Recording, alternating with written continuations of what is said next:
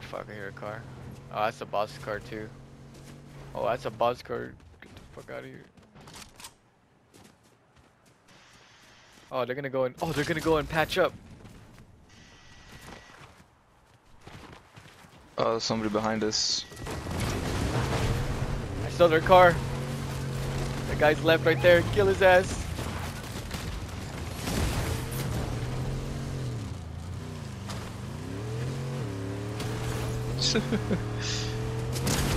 How unfortunate.